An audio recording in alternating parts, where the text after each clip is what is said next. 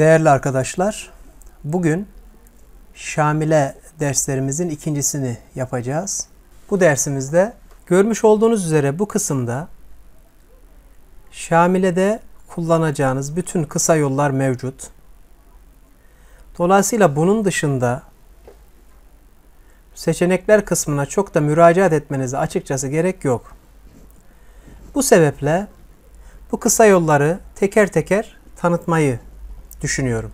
İlk olarak kitap seçimi, devamında içindekiler menüsü, hemen yanında açıklamalar kısmı, sonra metin içeriğinde arama kısmı ve en sonda mevcut okumuş olduğunuz kitapta arama özelliklerini tanıtarak bu dersi bitirmek istiyorum.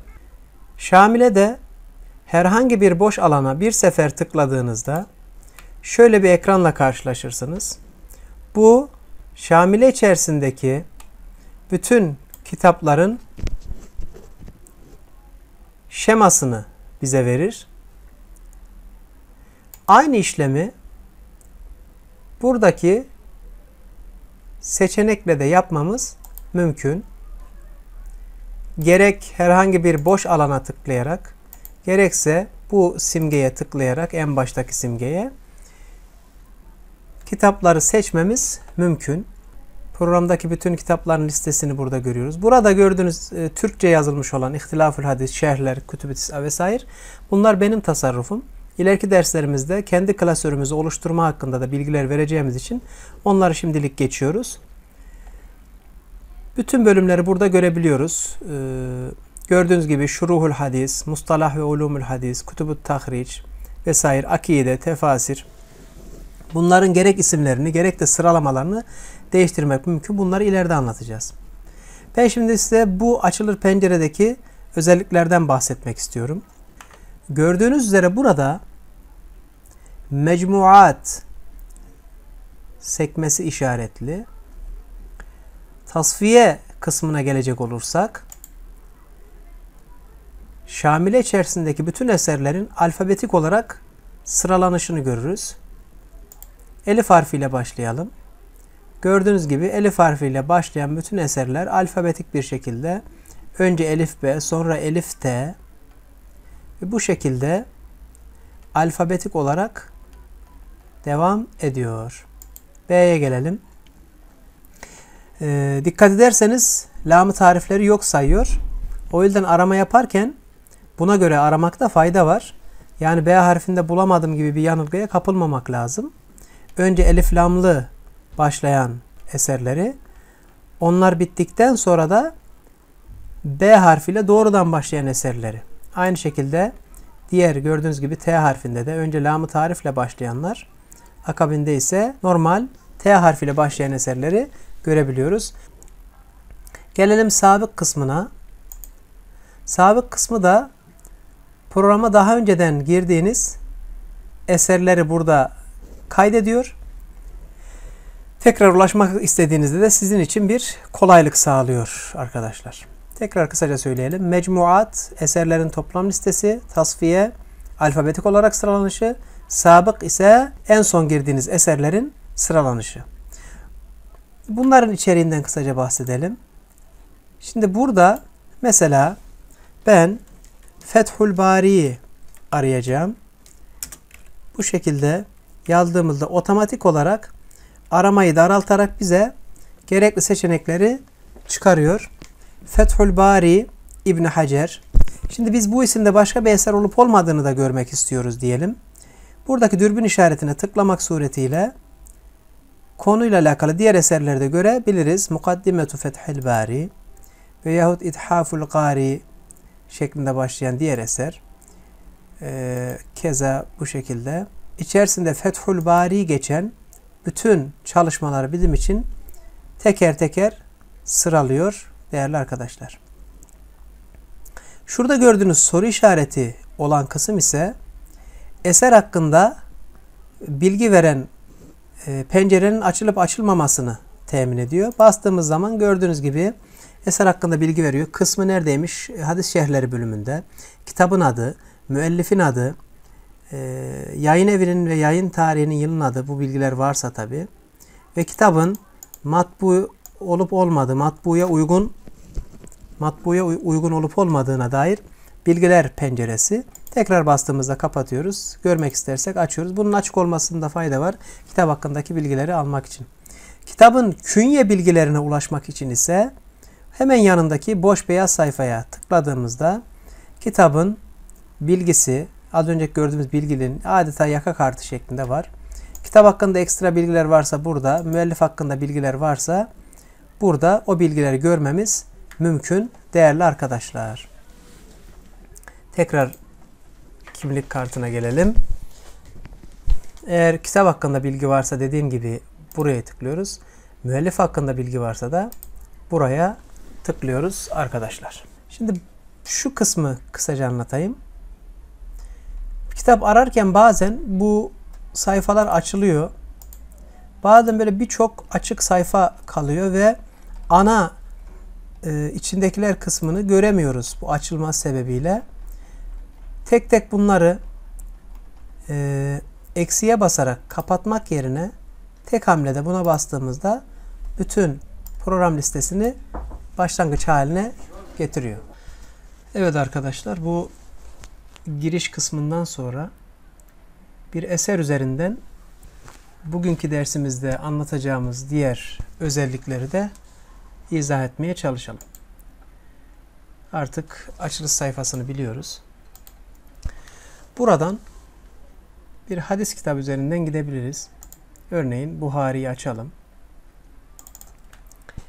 Gördüğünüz gibi şu an kitabın içerisindeyiz. Hemen hızlıca bir daha tekrarlayalım.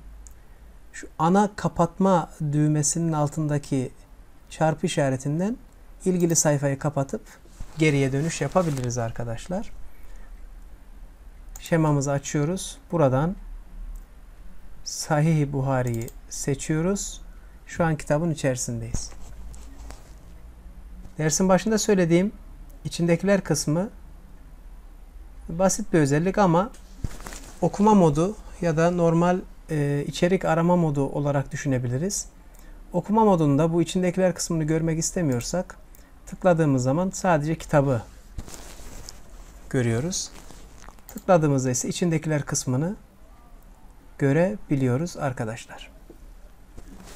İç, e, içindekiler kısmı açıkken bir arama yapmak istiyorsak eğer kitabın içindekiler kısmından şu altta görmüş olduğunuz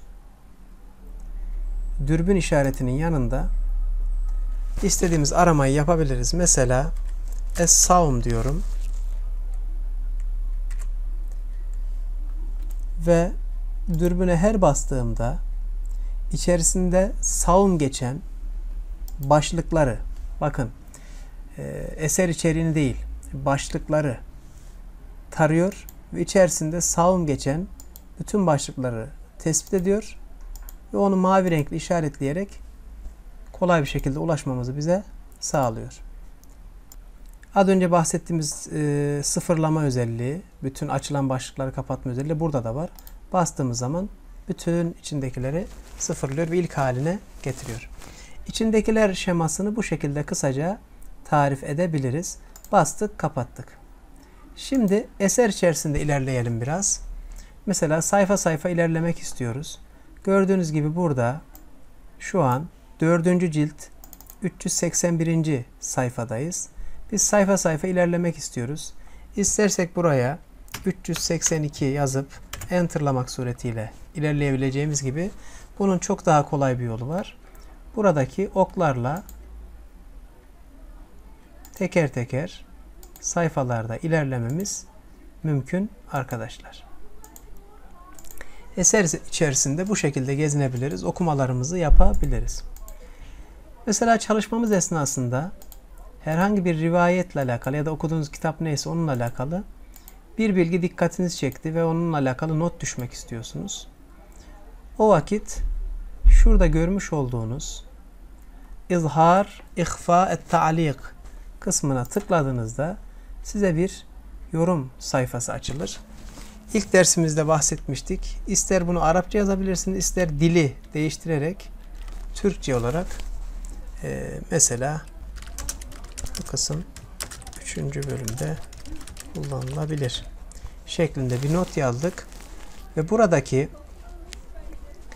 kaydet kısmına bastığımızda artık bu not buraya kaydedildi. Bir dahaki okumalarımızda tekrar aramak zorunda kalmayız. Mesela sayfayı değiştirelim. Bu sayfalarda o not yoktu. Bizim notumuz ileriki sayfalardaydı. Bakalım hala duruyor mu? Gördüğünüz gibi Türkçe karakter sıkıntısı olduğu için o çok önemli değil. Anlaşılır bir ifade yazılabilir.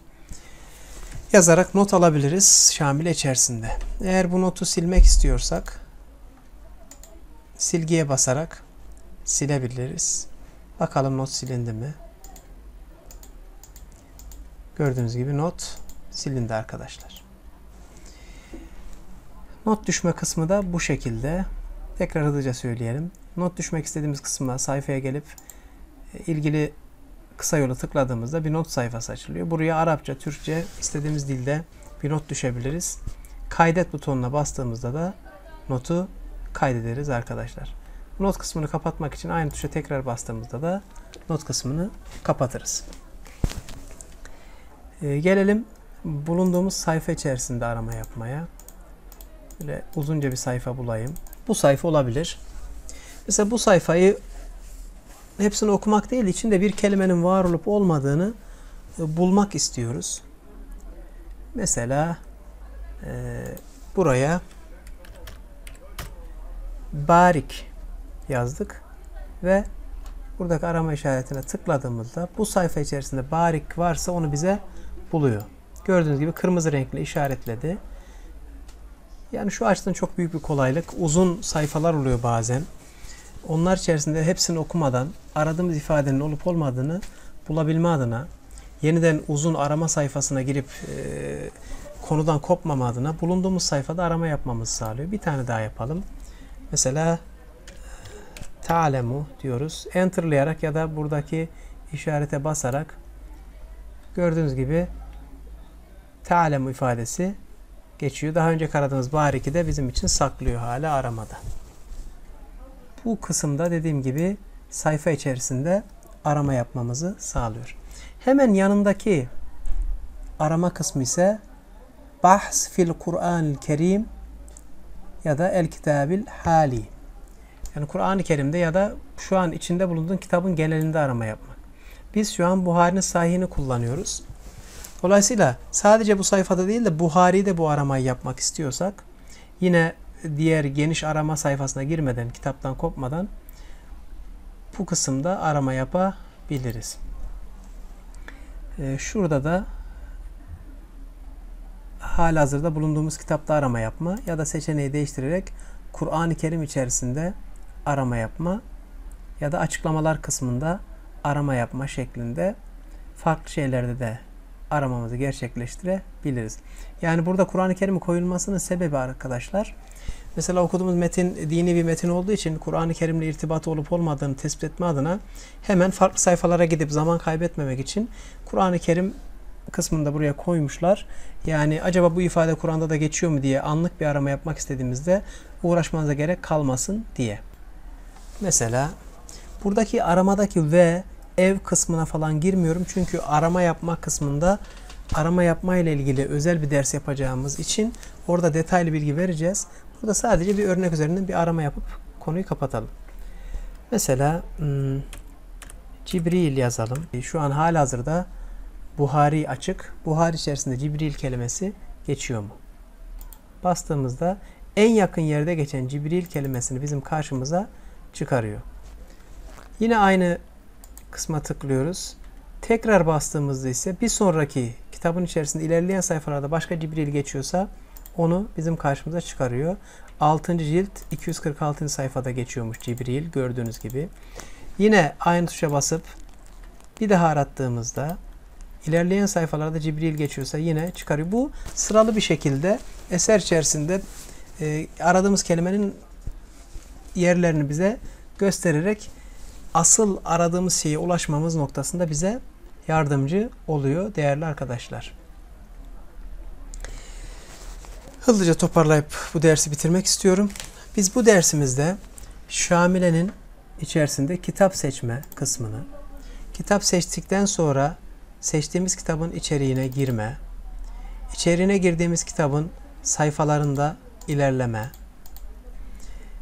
devamında şema ve içindekiler kısmını görünür yapma, kapatma ve içindekiler kısmında arama yapma özellikleri. Akabinde Şamile'de bulunduğumuz sayfaya not düşme ve açıklamada bulunma kısmını. Hemen yanında bulunduğumuz sayfada arama yapma özelliği ve onun akabinde de bulunduğumuz kitabın içerisinde, sayfanın değil de kitabın tamamının içerisinde arama yapma özelliklerini görmeye göstermeye çalıştık. Kitabın içindekiler kısmını açtığımızda da kitap listesinin şekli normal listem olacak yoksa e, alfabetik listem olacak ve önceki girdiğimiz kitapların neler olduğu konusunda bilgilendirmede bulunmaya çalıştık. Çok teşekkür ediyoruz. Hayırlı çalışmalar diliyoruz.